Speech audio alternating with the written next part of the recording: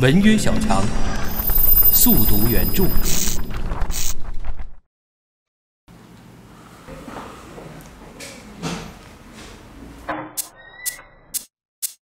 故事要从一名被誉为应试指导之神的男人讲起，他的名字叫做五十岚。在高中补习界，五十岚是个传奇人物，因为他所经营的辅导班中有九成学生能考上东京大学。凭借独特的教学理念和夸张的录取率，五十岚名声大噪，源源不断的财富也随之而来。然而就在今年，这个事业如日中天的男人却惨遭了命运的沉重打击。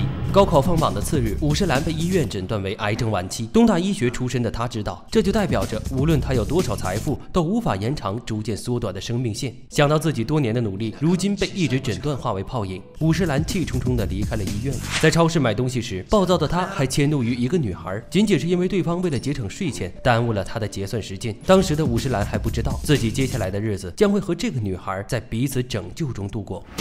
几天的自我否定后，五十岚终于接受了现实。朋友劝慰他，既然无法改变生命长度，那么就延长精气神儿，提高时间密度吧。想来这理念还是五十岚用来教导学生的，却不曾想到，当前情况下，身为老师的自己竟是如此难以执行。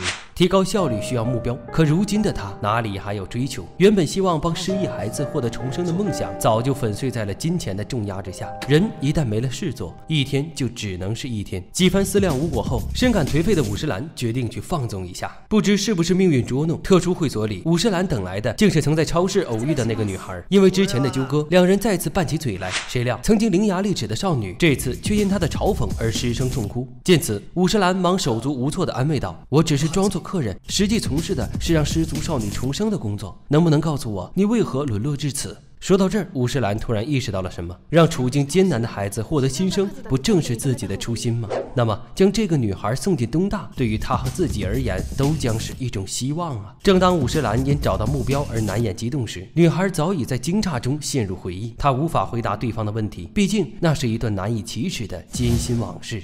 女孩名叫远藤真纪，是一名辍学的高中生。在过去的十几年中，真纪的幸福时光简直少得可怜。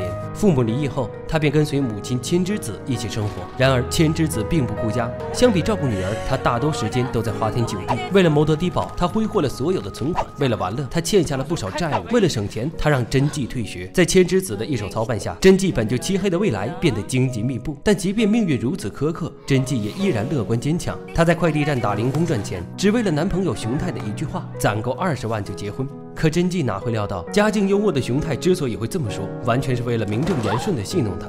所以，在他昨日达成目标去找熊太时，得到的只是对方的嘲讽和奚落。从熊太学校离开后，深受打击的真纪茫然无措。如今，他竟找不出一个可以倾诉的人。自从父母离异，他就因自暴自弃再没交过朋友。唯一疼爱自己的外婆，也在前几年因病去世。思来想去，真纪发现自己只剩一条出路：父亲。然而，等他来到公寓时，才发现一直用邮件鼓励他的父亲早已有了新的妻儿。那一刻，真纪的坚强彻底崩溃。回到家的他浑浑噩噩，直到债主上门追款才清醒过来。既然生活无望，倒不如找个来钱快的工作还清债务。有了这个想法后，心灰意冷的真纪便来到了这儿。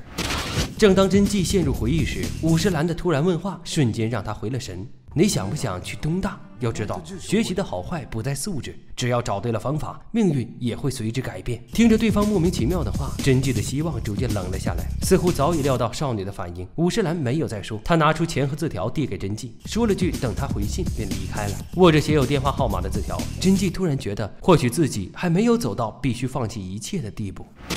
次日，真纪便跟随五十岚来到了一家餐馆，看着递过来的试题，真纪的怀疑终于褪去。虽然昨夜他按捺不住好奇给五十岚打了电话，但他还是不相信，连高一都没念完的自己能考上东京大学。为了全力辅导真纪，五十岚也在昨晚将补习班托付给了合伙人。但对于真纪能否真的达成目标，他也不敢保证。就在这种自我怀疑却彼此信任的情况下，五十岚和真纪开启了一场高考翻身大戏。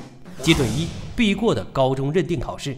在摸清对方的程度后，五十岚决定从小学开始查缺补漏。他递给真纪几本习题册和一张卡片，上面写着要领一，弄清自己的水平。为了让真纪对学习产生兴趣，五十岚给他算了笔账。就目前来看，真纪一辈子的收入也不过七千万日元。但如果他花两千个小时学习考上东大，那么终生收入就会达到五亿。也就是说，这将是场时薪二十万的打工。五十岚的一套理论让真纪颇为震惊，也因此他彻底信服了这位大叔。在那次辅导后，真纪每天都会拿出。出一定时间学习。每当坚持不住时，他就会默念时薪二十万。如果真的碰到难以解决的问题，他便会约出武士兰，在答疑解惑的同时，他还能从对方身上体会到被人关心的感觉。在武士兰的悉心辅导下，真纪顺利通过了高任考试。阶段二：坎坷的中心模拟考试。高任考试后，真纪对武士兰更加依赖，哪怕对方制定的计划十分冗长，他也会严格执行。只是很快，他的学习中就出现了一个巨大阻碍，那就是妈妈。在距离高考还有半年时，千之子给真纪找了个陪酒的工作。在千之子看来，女儿考学根本是异想天开。打击之余，他还坚称武士兰迟早会放弃真纪，这便导致后来每次见面时，害怕被抛弃的真纪都要给对方五百日元，以作为下次见面的约定。虽然真纪并不想工作，但却架不住妈妈的生拉硬拽，无奈去了一天后，他便在当晚辞了职。真纪的擅自做主，彻底惹怒了千之子。他不仅收缴了真纪的全部积蓄，还抓着不久前的模考成绩落井下石。看着成绩单。上大大的“意，压抑已久的真纪终于落下泪来。第二天，真纪将五十岚约了出来，心灰意冷的他决定结束这场闹剧。为了让对方死心，他还拿来了模考的成绩单。看着恼怒的真纪，五十岚一边分析着试卷，一边告诉他还有哪里可以提升。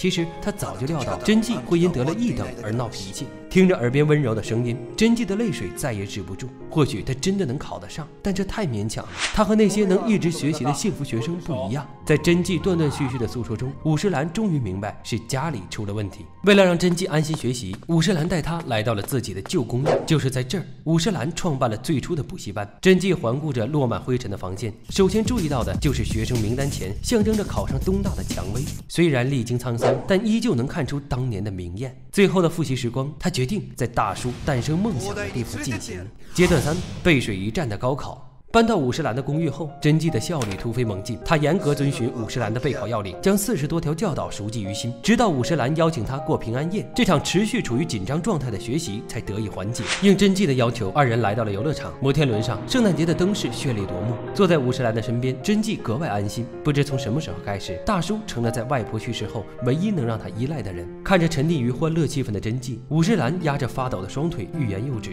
其实早在高任考试后，他的身体就有了症状。一直以来，他都在用吗啡缓解疼痛。随着摩天轮缓缓升高，武士兰的意识也逐渐模糊。陷入黑暗前，他的耳边只剩下真纪焦急的呼喊。在那次昏迷后，武士兰便住进了医院。他谎称只是简单检查，不准真纪经常探望。在武士兰的要求下，对其完全信任的真纪便一直待在家中做题，因为他知道考上东大不仅是自己的目标，也是大叔一直以来的希望。高考那天，真纪独自一人来到东大迎战。站在熙来攘往的大门外，他一遍遍读着武士兰的备考卡片。备考要领三十六，从自己会的习题做起。备考要领三十九，每做完十道题就要填涂。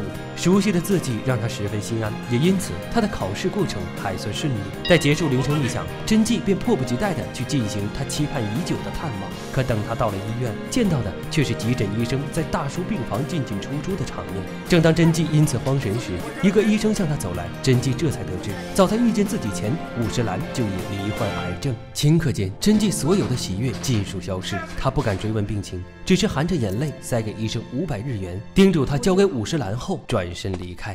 最后阶段，东大放榜。三月十号，看过榜单的真纪兴冲冲地跑去医院。时隔多日，他终于有勇气推开病房大门。我考上了。然而，回应真纪的却是空无一人的静谧。床头柜上摆着的信和卡片，像是在无声诉说着：这次大叔失约了。从旁人代笔的信中，真纪了解到，大叔在两日前去世。他走的时候很平静，还想对他说辛苦了。瞬间，泪水浸湿信纸。真纪怎么也没想到，自己认为最幸福的事，到头来却化为了最大的不幸。卡片是大叔本人写的，虽然他的字已经哆哆嗦嗦，但真纪依然能读出其中的嘱托。备考要领最后一条，终点即是下一个起点。泪眼朦胧间，真纪看到墙上一朵鲜红的蔷薇花，后面正写着“文科二类，远藤真纪”。四月十一号，真纪穿着武士兰曾给他买的衣服参加开学典礼。孤身一人的他昂首阔步，没有半点的失落和不安，因为他相信此刻那个在他未来路上铺住鲜花的人就在自己身边。